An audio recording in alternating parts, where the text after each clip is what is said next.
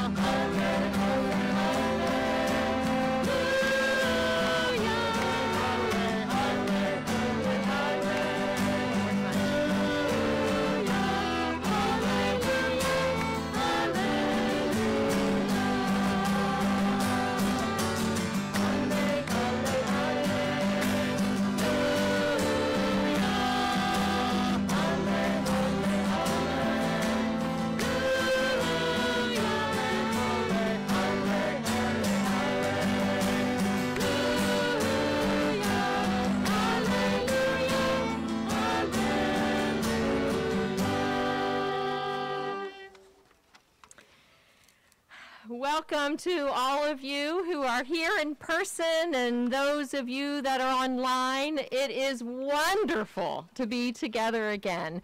And I wonder if we can just give a round of applause to everyone who has helped to bring this morning together and just a round of applause to God for this beautiful day.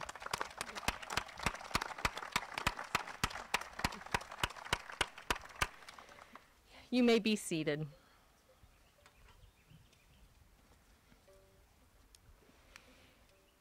Morning has broken, but this morning is different.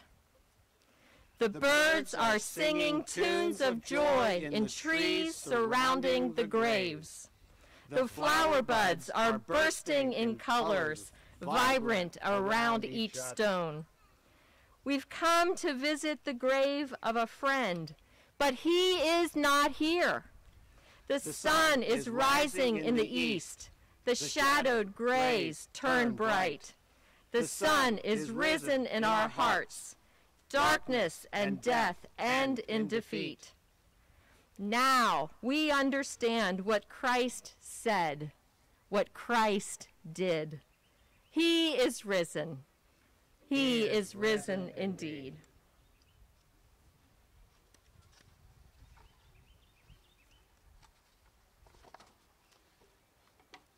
Again, if you have the Voices Together hymnal with you this morning, turn to number 495. Morning has broken. Or in on your phones if you have access to what was emailed this week. And I don't know about you all, but I love Easter sunrise services that start at 11 a.m.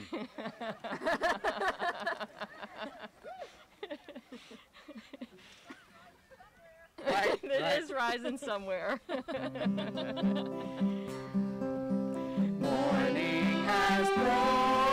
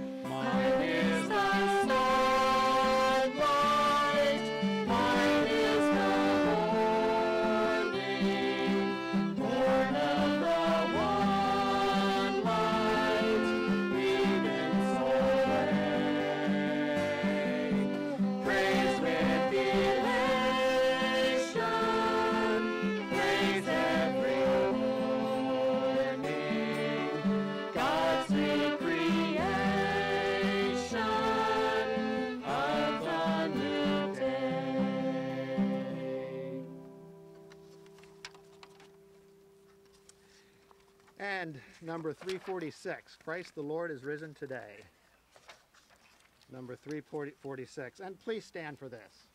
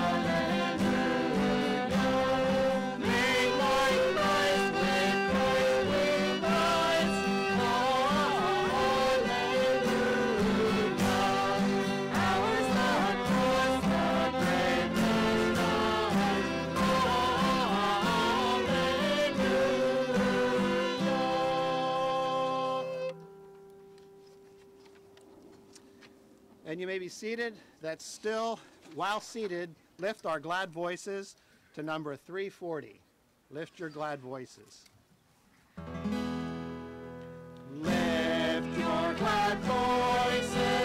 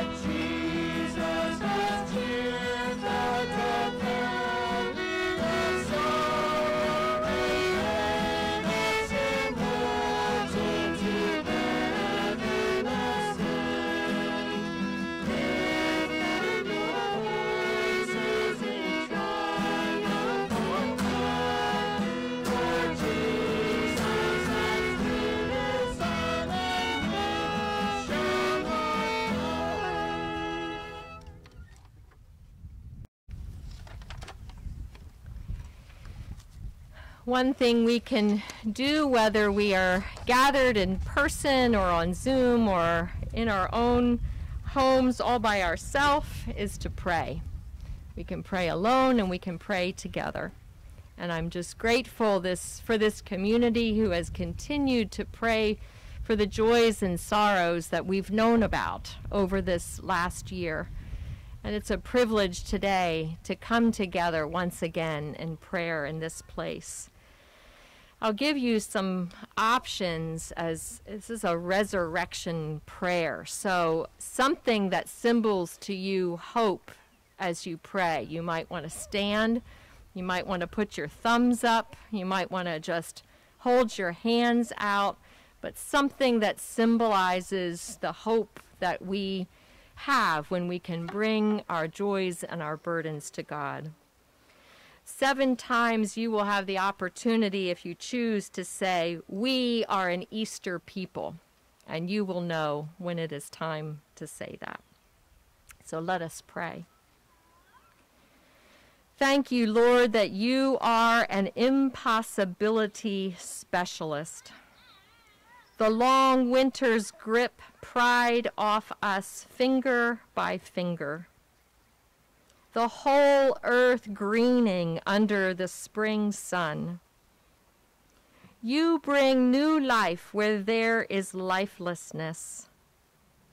You resurrect hope when we are mired in darkness. We, we are an Easter people. people Bring Easter to all among us who are grieving. Your solace that we will see our loved ones again. Your comfort that you will be with us in the hour of our death. We are an Easter people. Bring Easter to all among us who are despairing. Give us light and meaning in our times of suffering. And your energy when life is at its lowest ebb. We, we are an Easter people. Bring Easter to all among us who are ill in mind or body. A healing touch to calm our fears your soothing presence to carry us when we falter. We are an Easter people. Bring Easter to all who are locked away in jails, as well as those among us chained by addictions of every prison of prejudice. We are an Easter people. Bring Easter to our neighborhood and our city. The stranger welcomed, the hungry fed. Your kingdom coming here in Lancaster County. We are an Easter people. Thank you for showing us who we are through Jesus Christ our Savior and for transforming us daily through your creative spirit. We are an Easter people, and Alleluia is our song. Thanks be to God. Amen. Um, okay, and now we are going to welcome Carmen to come up and invite some special guests to come forward.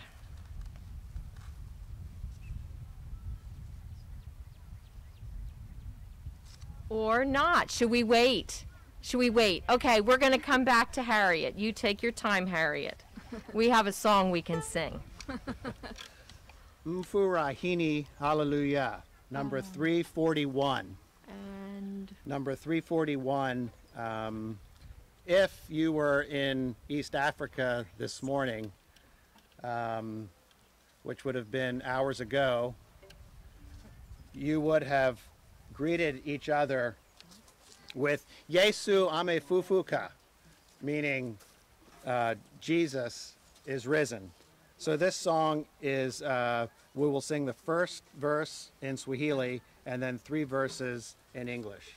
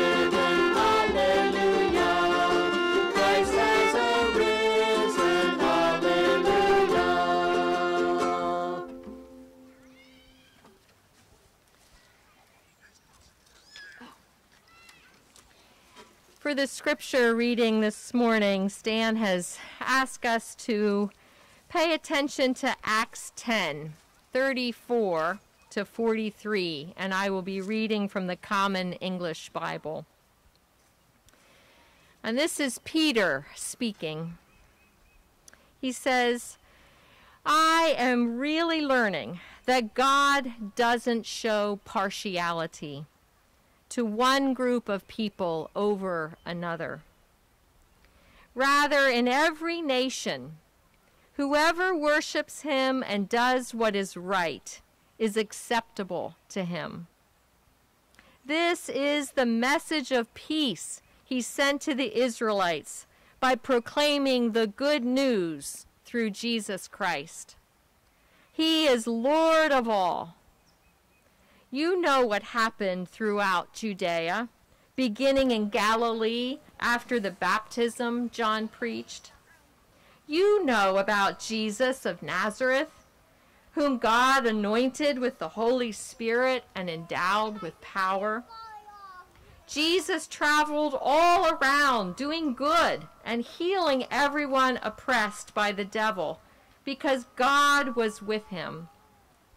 We are witnesses to everything he did, both in Judea and in Jerusalem. They killed him by hanging him on a tree.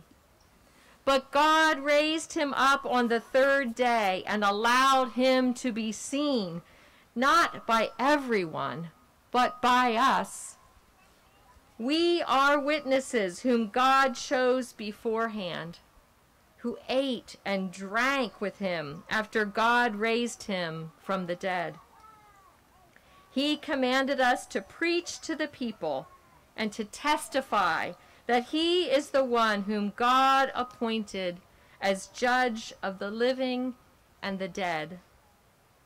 All the prophets testify about him that everyone who believes in him receives forgiveness of sins through his name.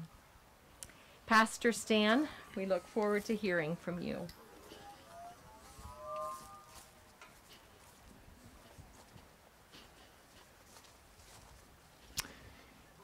Thank you, Anne. It is just so good to see all of you here today, and uh, I'm not sure how many of you recognize we we actually are zooming this. Eloise is up in uh, the house up there, and she's manning the Zoom, and so people are actually, there are some people at home that are watching as well. We're trying something new, and we learned from the from Merv and Nora Hess, who are members of the Covenant Mennonite Church down in Sarasota, Florida. We sort of learned how to do some things too. So we have people from all over the place that are that are worshiping with us. But it's so good to be uh, with you here this morning. And and Nan and Ken, uh, thank you so much for opening your place up and welcoming us here. I think this is just uh, we are we are so so fortunate to have have uh, people here like this that offer their their homes like this. The kids were doing some hunting for Easter eggs, and I know that there were some questions, and it's interesting. Thank you, Janelle, for for organizing that and and and uh, and such. So. Um,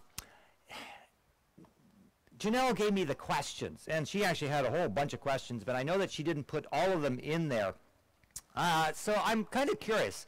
I want to ask a few of these questions, and uh, if there's a child that had this question, I would like you to stand up just where you're at.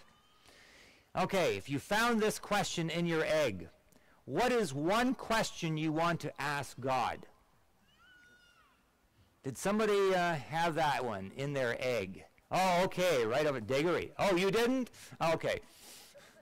All right. Um, here's another one. What are three things you like about yourself? Did somebody have that?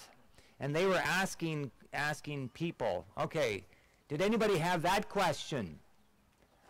Okay, Liza did. All right. So let me ask you the question. Wonder who who did you ask? Do you remember who it was? What adult answered the question? Okay, adult, be honest. Stand up if you answered that question. Ah, Pastor Carmen. All right. Okay, Pastor Carmen, what are your three answers? What are the three things that you like about yourself?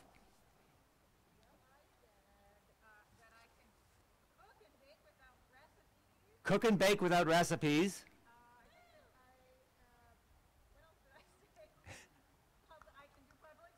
You can do public speaking.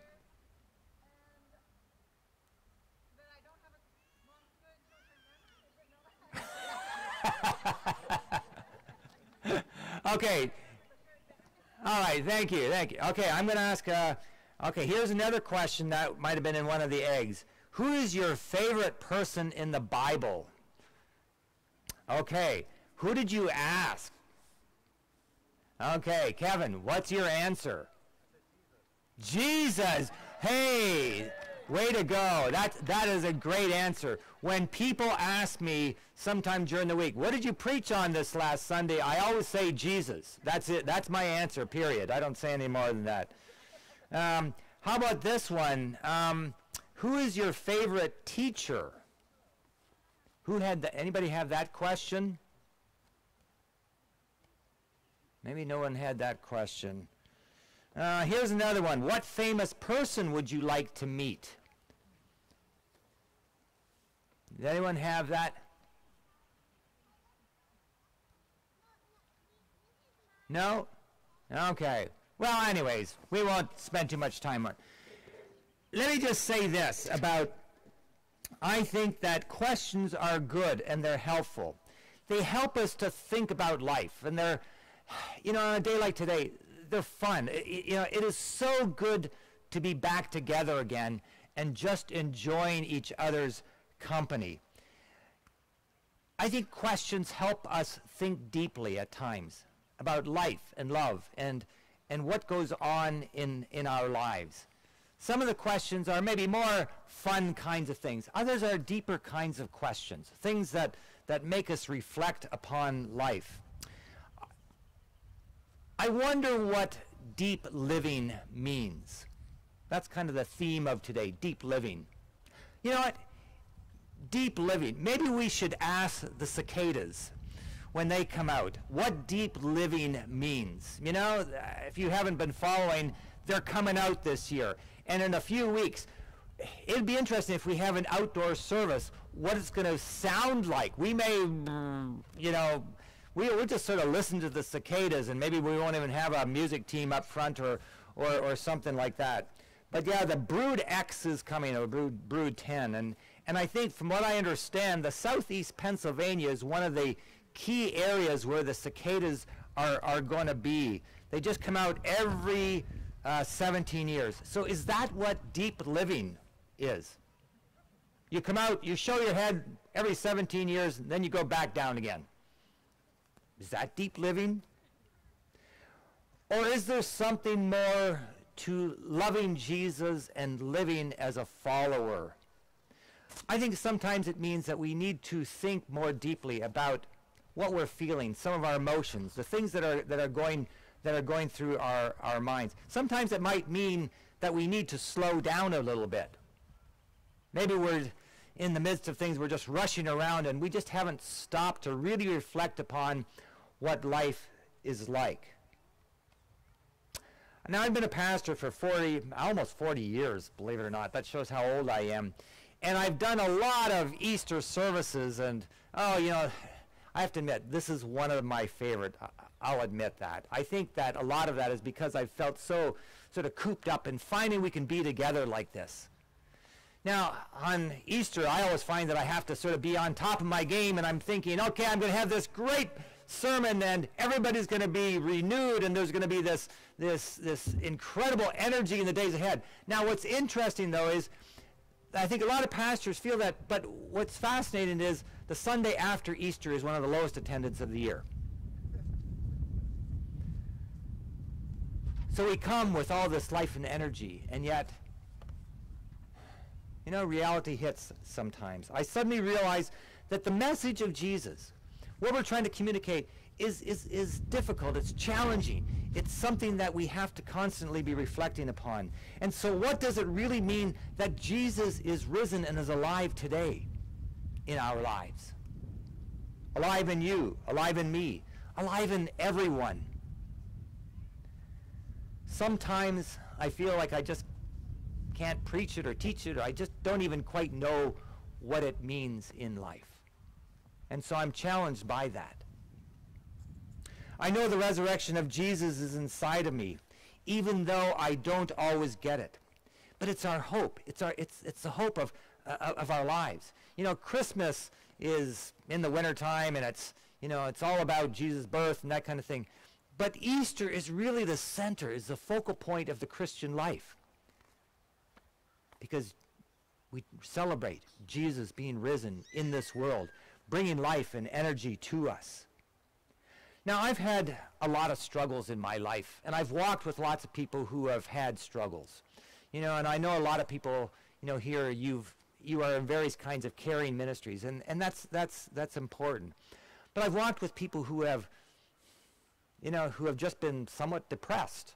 I've walked with people who have had great losses. I've walked with people who who have felt abused in some way, shape, or form, over, over the years. And so I'm glad for, for, for doctors and nurses and teachers and counselors and, and all kinds of people like that. But humans are humans. You know, we can only offer so much to the world. We can't fix all the problems. Now, this past year has been difficult. This has been a tough, tough year, I think, for all of us. I know very few people who have just been energized by this, by this past year. You know, we've not been with our friends at school, at the, at the playground. We haven't had sports like we normally do. We haven't been able to go out and play on soccer teams and all those, all those kinds of things. You know, we've had to have school at home. You know, we haven't had Sunday school. You know, it's been over a year since we've been able to have Sunday school or the, or the fellowship times and all of that kind of stuff. It's been, been all kinds of stuff that we've, losses that we've experienced in our lives. And this past year, I have to admit that I've been angry at the violence towards people of color that hits really close to home. I've missed greeting you all at the welcome table, shaking your hands, maybe hugging some of you. I've missed the Sunday school. I'll admit this. I really don't enjoy preaching to the camera. You know, cameras just don't give me very much feedback. You know, like I'm, I'm sitting here, I'm seeing your heads nod. You know, Jonathan, we need to get the camera moving its head up and down or saying amen or some, you know, the tech people, you know, once in a while, can you say amen when I preach and say something that maybe you're excited about? Thank you, thank you. I appreciate that. Just remember that next week or whenever it was, we're back in the sanctuary. Rachel Held Evans says this Christianity has died and risen many times because we have a God who knows his way out of a grave. Some things in church will die, have died, and will continue to die, maybe need to die. Beneath all the disappointments is the Savior. Jesus is Savior because he won't settle for just accepting our mess, our struggles, the things that we're sad about, the things that we're, that, that we're really struggling with. That's why the gospel really is also known as the good news. That's another, that's another phrase for it. It's good news. Jesus is always calling us to come out of our tombs. And he stands at the tomb and asks, Why are you settling for despair? When I'm inviting you, I'm calling you out of the tomb. And so it's time to come back to life. The door is open. Jesus is inviting us. And so Easter means a lot of things to a lot of people. You know, there's the stores that are selling chocolate and Easter bunnies and all those kind of things. You know, and Christmas is past. We're now in the midst of, of Easter. But for followers of Jesus, Easter is the center of our faith. It what gives us life and energy. It's the festival, the party of, of the resurrection of Christ. Victory is the theme.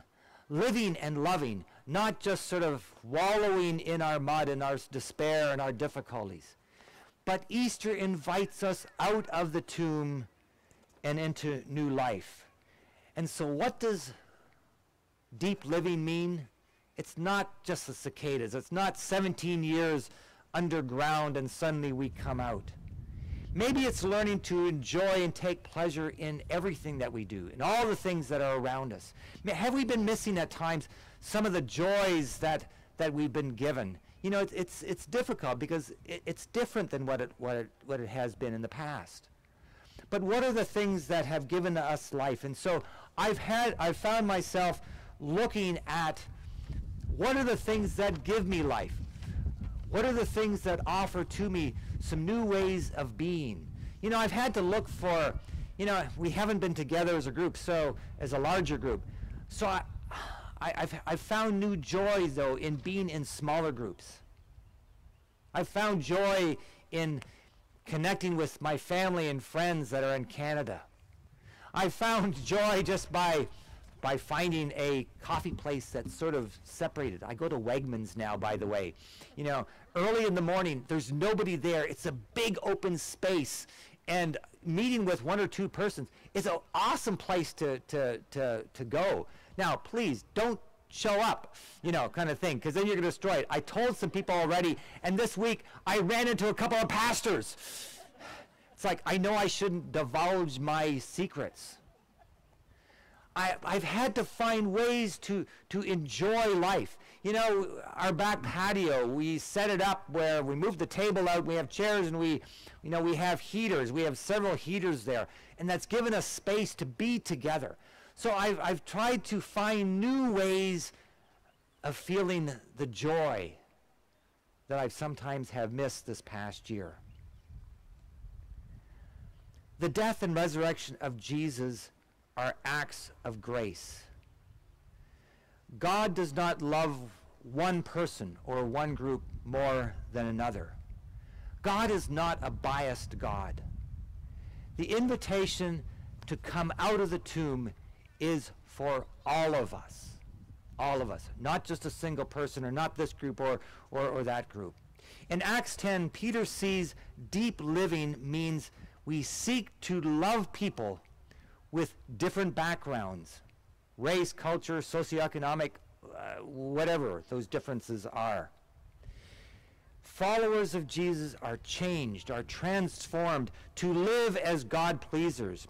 And this is the basis of, uh, of our church, that the unity is, is in the resurrection. It's, it's Jesus inviting all of us to come together, to fellowship together. Verse 35 says that in every nation, all who fear, all who fear God and do right are acceptable. The resurrection makes it possible for us to be witnesses of the risen Jesus. And so my hope for all of us, for the church, is that our days will be filled with removing barriers so that God's good news of loving others and living deeply are spoken from our lips to those around us, but they're also experienced in how we live our lives daily. Food is a big part of celebrating. I think Jesus spent a lot of time eating and drinking with, with, with people. And that's important. I think that I'm glad that we had donut holes this morning and, and, and coffee and you know, a bunch of those kind of things. And, you know, it's just good to be together. And it's not the fellowship meal like we have sometimes, but it's a way for us to be together and to celebrate. Today we are celebrating Easter and how Jesus rose from the dead. I was reading this morning out of Matthew the uh, the Last Supper, you know, and I think sometimes we make I think we make this Last Supper this very holy moment, which it is, but it's almost more like this sort of like, okay, we have to really be, you know, really quiet and gentle when we, you know. And then I'm reading this, and I'm I'm I'm reading this, and it says, while they were eating, Jesus took bread. You know what?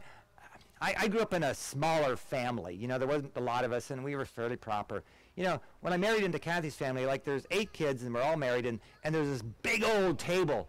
And I have to admit that I probably found myself thinking this morning that Jesus sitting at a table eating, you know, with these disciples probably was more like maybe Kathy's family when we're all talking together and suddenly Jesus starts doing some things. And so, so maybe, maybe communion isn't all, always just this solemn whole. I mean, I, I think it can be. But maybe it was a time of celebration, of being together as a community of people. And it says that while they were eating, while they were eating, Jesus took the bread, took, took the bread and blessed it. And I don't know whether he got his bread from from Weis or where he got it like I did. But he took the bread and he and he broke it. And he said, Take and eat. This is my body. Simple loaf of bread. And then he took the cup. And he said, Drink from this, all of you. This is my blood of the covenant, which is poured out for so many that their sins may be forgiven. I tell you, I won't drink wine again until that day when I drink it in a new way with you in my Father's kingdom. Then, after singing songs of praise, they went to the Mount of Olives. So, singing after communion, I think that's a pretty appropriate thing, and we're going to be singing, you know, uh, as well. So, so maybe Jesus invites us to come with our messiness and our and our losses, and Jesus is coming to us and saying, "Come out of the tomb." you know, come out of this last year, all the struggles that you've had and all the, the losses and all that kind of thing, come out of the tomb and celebrate with me. This special day, a new day, And remember that I am with you. And I'm inviting you to, to, to love me and love others, which is part of the deep living that Christ invites us to. This morning we have these little cups here, and I need five volunteers to serve. And I should, should say this it's all gluten free, so you don't need to worry. At the top, there's a little thing that you peel off, and there's a wafer in there. And I would, once you have that, I would invite you to just hold on to it till we all eat together, and then we will also uh, uh, uh, drink together as well. So I need five, five volunteers to come and, and help serve these. So just come on up where you are, and we want you to pass these around and, uh, and share with everybody. Just come and come forward and, and make sure. Good. Can you take it out and just let everybody just grab their the one. Just carry the basket to people and let people. Yep.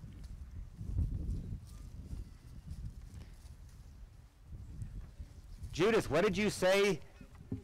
This is Mick Jesus communion.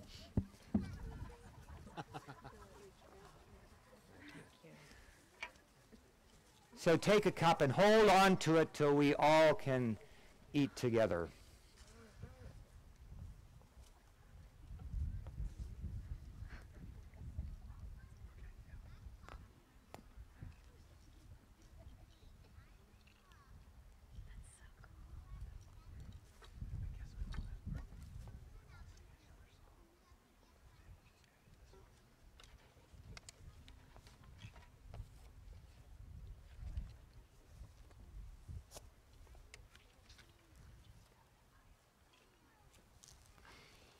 You know, we are so fortunate to have a day like today. Friday morning, I woke up and there was snow on my van. Mm-hmm. We could say God is smiling today, that God blesses us. Well, I'm not quite sure my theology takes me down that path. But I do give thanks when we have a day like today that we can be together and celebrate and just enjoy this nice warm air and the beautiful setting and and everything that we have here together. So praise to Lord.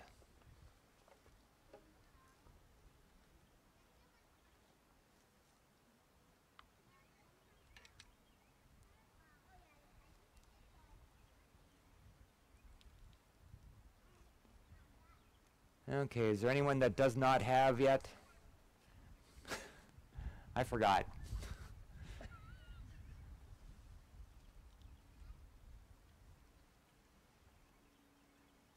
Okay, why don't you bring the baskets back up here and and make sure you take one yourself, because I even forgot.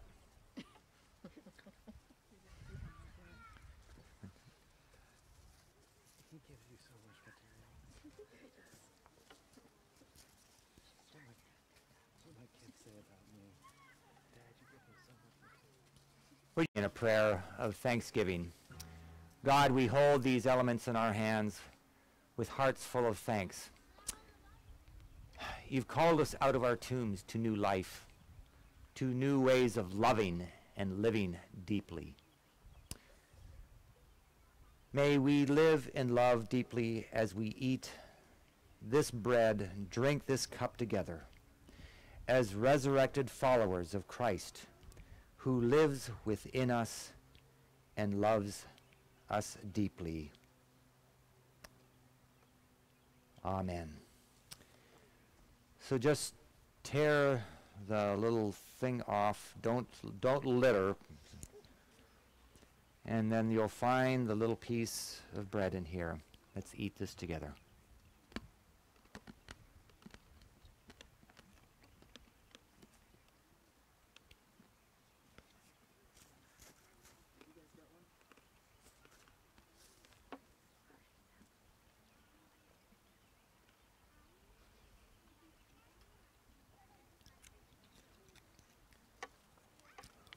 And then just turn it upside down.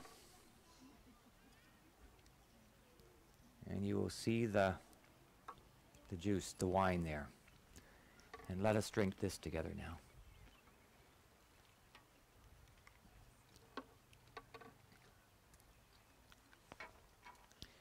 And please hang on to that. I think we probably have garbage cans someplace or other. There's one in the back Is there one in the back someplace or other?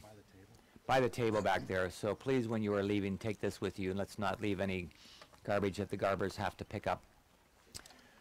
Blessings to all of you as we uh, enter a new season. Is it time? Awesome. Let's let's celebrate new life.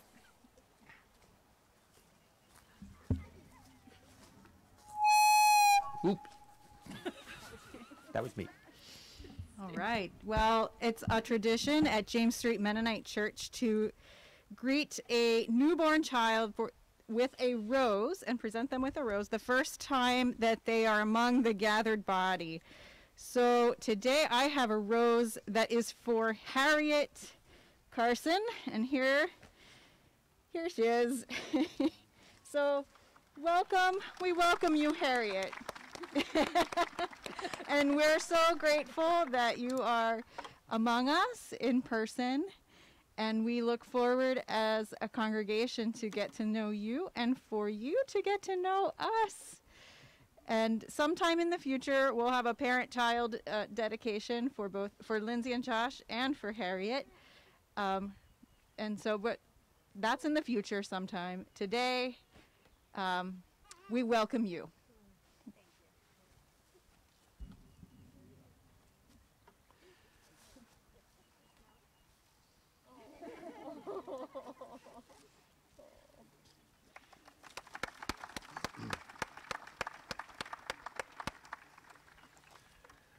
Please stand and turn, if you have your books, to number 480, to I Am the Bread of Life. I am the bread of life. You come to me shall not hunger, and who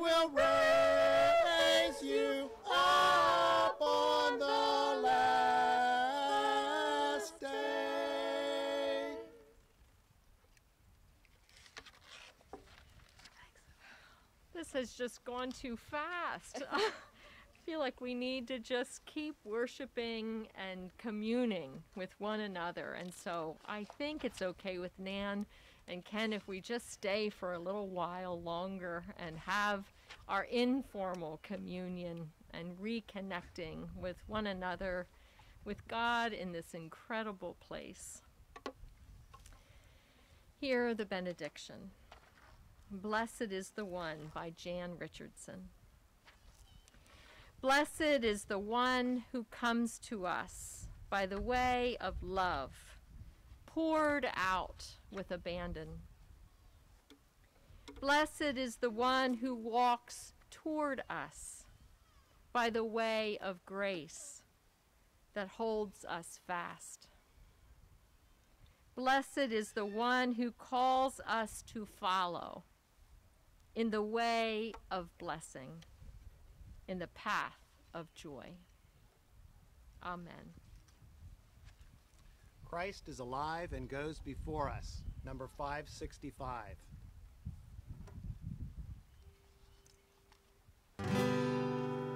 Christ is alive and goes before us